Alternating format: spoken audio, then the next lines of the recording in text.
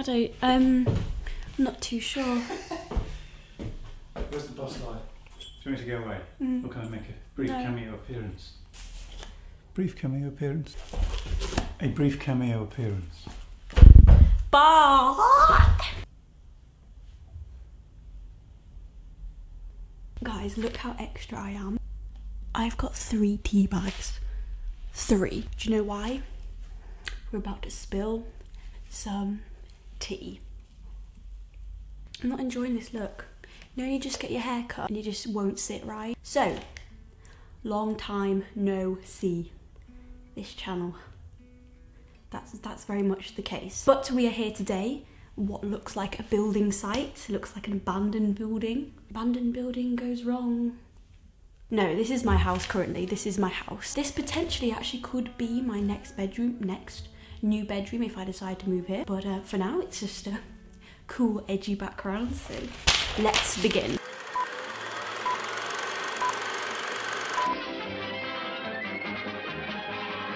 So aside from saying that I look a state, I'd first of all like to start off by saying sorry for not uploading, but it's okay. We're gonna get back on that. I'm gonna start off with a brand new series. Now, I decided that I wanted to do a series where I sort of input my view and opinion and explanation as a content creator who's seen many different people upload videos onto sort of certain grey areas of YouTube. I'm gonna be discussing this in a three part, potentially more part series, potentially less if I just leave this channel for a few months. Could happen. But today's agenda is talking about fast growth. So, fast growth is a term that I have come up with. And this series, I'm not too sure of the name, but it's probably going to be like, yeah, I don't know. It's called this. Ding. What I mean by fast growth is the idea that somebody goes onto YouTube with the intention of growing as fast as possible. Now, you might be thinking, most people make a channel and yeah, they want to grow fast myself included. But this is the idea that people use the sort of most, I'd say, shifty, perhaps um, exploity, it's not a word, ways in which to grow. Everyone knows the term of clickbait, where you basically make a video with the intention to get as many views as possible. So put certain things in the thumbnail, put capitals in the title. You know, it's even got to that point where people are putting not clickbait to prove that it is or it isn't clickbait, because sometimes it still is. So a few years back, well, let's be precise, 10 years back when YouTube first started, there was an equal playing field for everybody to start off with. Everyone had zero subscribers. There was no big shots and small YouTubers. It was just everyone was equal because everyone started from the bottom. There was no hierarchy system to YouTube. Everyone started off as just basically themselves making videos. I don't even think partnerships were involved back then. But nowadays, there is such a hierarchy system. And I think people are impatient. Of course, people are impatient. But back in the day when everyone was equal, no one really had this drive to make it to the top with all the current YouTubers because there were none. But now when people join YouTube, they see these big times with millions of subscribers and they look at that and they say, I want that. And they see that they've got that now. They see that big YouTubers have millions of subscribers now. So they think, I want that now too. And they don't quite understand that years of work and growth went into creating those huge channels. And people are impatient and they want to get to the top as fast as possible. And I think that's where the dirty tactics come into play. Now, of course, none of these tactics are wrong or against the terms of service. I mean, sometimes there are people take clickbait to the extreme. You can actually get your videos taken down, but these are just ways in which you can tell someone is just doing it for the growth, the subscribers, the money.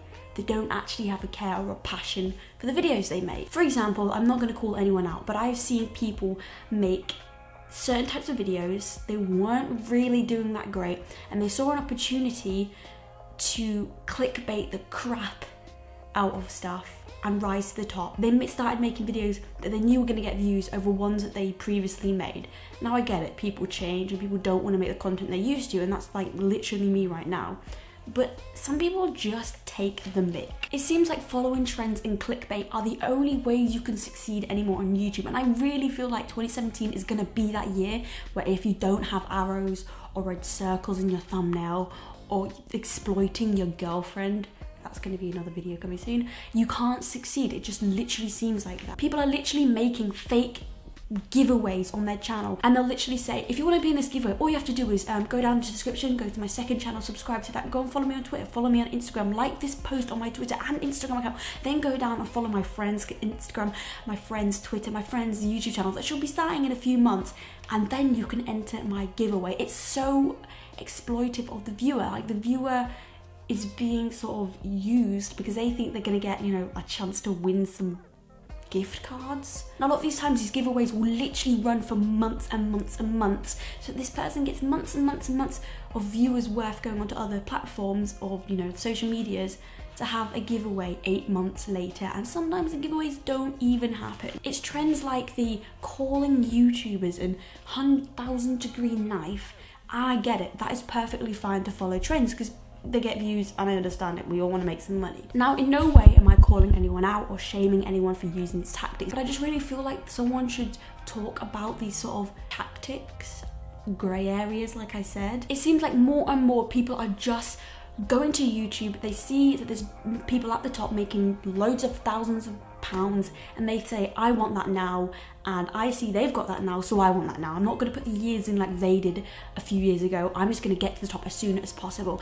And they've changed from quality content to just quantity. They want to make as many videos as possible so they follow trends. They do all these tactics just to get growth as quick as possible. And honestly, you can tell people are just doing it for the money, doing it for the fast growth. Now, one thing that really annoys me and used to annoy me a lot more as a viewer is sponsored videos. And I get it, people make sponsored videos because they have to make money, and I'm so down for sponsored videos. I think it's fine.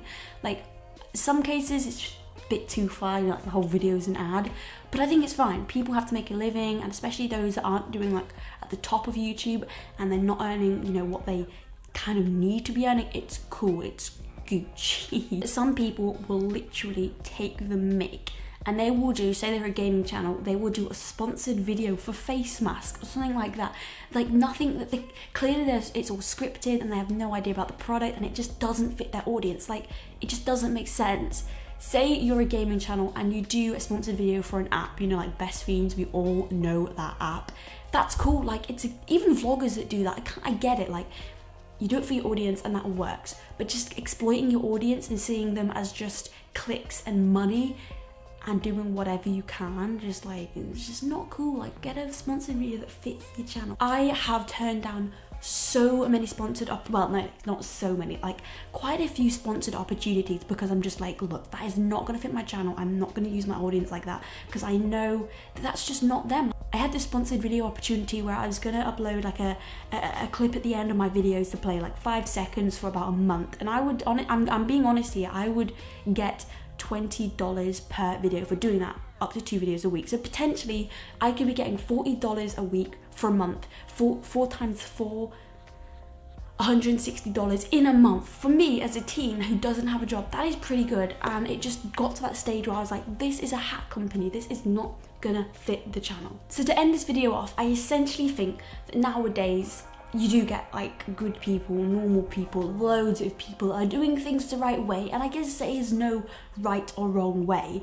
Like everyone can do YouTube in their own way, but I do feel like there's people that just kind of take the mick nowadays and they just do everything they can to be on that trending page, which is understandable. Like I'm not trying to call anyone out or hate anyone or take this video as like offense, but legit, like fast growth, I think it's a concept that we all should understand because essentially it's just you guys the viewers that get exploited by fast growth. Now in my next video i have two more topics to talk about and that is one clickbait and i'm to talk about how clickbait on youtube and in um, the media off youtube you know like newspapers and stuff that sort of thing. And also, I'm going to be making one on exploiting relationships and people's girlfriends slash boyfriends because I think that's another interesting topic. Now, I have no idea how this video is going to go down. It is totally different to what I usually upload. But this is sort of where I want to take my channel in a more serious slash I don't know, topical way. So this will be the first in potentially a new series and I will also be uploading some a couple daily vlogs and other things that have relevance to the channel. But tell me if you like it, tell me if you like me to discuss these things with you guys as viewers. I honestly have no idea how this background looks because I can't see anything until I get on the computer. But yes, I'm going to end this video here. If you didn't know, please be sure to smash a like on this video and I will see you guys next time. Good.